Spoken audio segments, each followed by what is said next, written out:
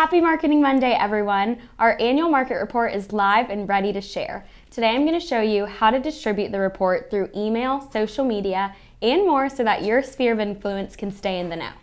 Okay, let's get started. So, the first way I think is the best way to distribute the market report is going to be through the trends found within Moxi Impress. Um, so this is what the 30A trend looks like. The annual market report is right up top. And if you click on the link, it'll take you straight to the market report on your website. Um, this is also coupled with blogs, um, areas to search for homes, events, and branding for you. Um, we have a separate video on how to send out the newsletter that I will link in the comments, but this is the first and best way, I think, to send out the market report. So to find the market report, um, if you don't know, if you're on the homepage, just visit your website. Make sure to always have your name in front of the link. Um, you will visit resources, scroll down to market report, and you'll see it linked here. So the full market report is in a flip book. You can do full screen and flip through everything, um, but that's that. So if there's any other ways outside of this video that you want to share the market report just using a link, even if it's a casual text message or drop it into an email, um, all you have to do is copy and paste the URL up at the top of the browser into whatever other platform it is that you're using. Um, today, I'm going to show you how to do this on Facebook, LinkedIn, and Instagram. So let's get started. So as you saw, I did a little right click, copy, and let's come over to Facebook. Skipped ahead here, but um, when you're on your news feed, you'll just click what's on your mind. You'll paste that link, let it load the preview here, and then remove it and write your own caption. So, well, no need for the all caps, but check out the market report, whatever it is that you would like to say here.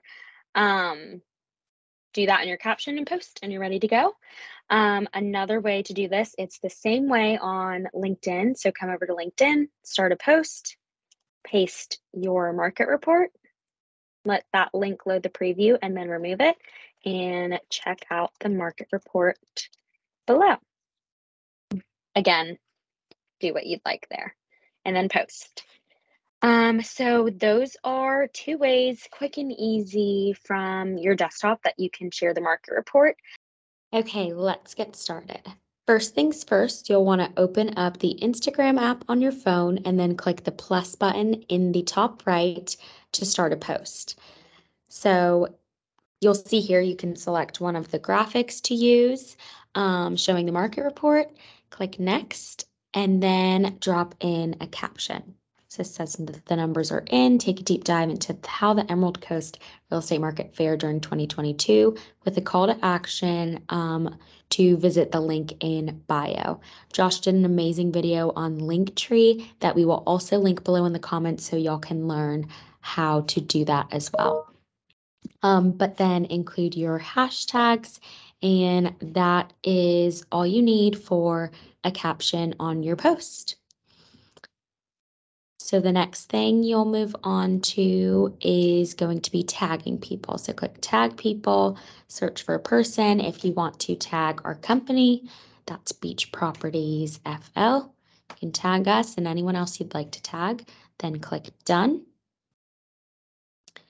And then you'll want to add a location. So I would do um, whichever location you have in the graphic. I chose Destin for this example.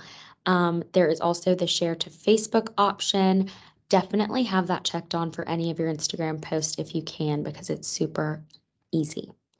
Um, but that is pretty much it. That's how you share the market report as a post. And now we'll back up a couple steps to show you stories. So I'm just going to discard this. And on the bottom, you'll see you can switch from post to story if you just drag that across. So I'm going to post, then story. Then I'm just going to choose one of these graphics again for this example. You could also do an intro video, whatever that looks like for you. But I'm going to select a graphic and go ahead and zoom in on it to make it look a little more appealing. To get a little bit of the numbers in there, like a little teaser. Then click the smiley face up at the top to get to the link button you'll see in the middle of the screen click that, and then you're going to want to grab this link from your website Um, you can do this on your phone. Just make sure your name is in front of the link. And then you'll click the bars in the top right corner. Click Site menu. Click Resources and then the Market Report. So once you click here, we'll let that load. You'll scroll down, you'll see it's loading um, the digital version of the market report. And this can be viewed just like this. It can be viewed in full screen, which you'll see here once we, um, again, get it loaded up. It's loading. All right, so this can be viewed page by page in full screen option from this link. Um, but let's go ahead and get back to the link. So you will copy the URL right here, copy. Then you'll come over here to add link and paste that in. And then you're going to name the sticker just a more appealing title than what is um, the long URL here. So click to read the market report.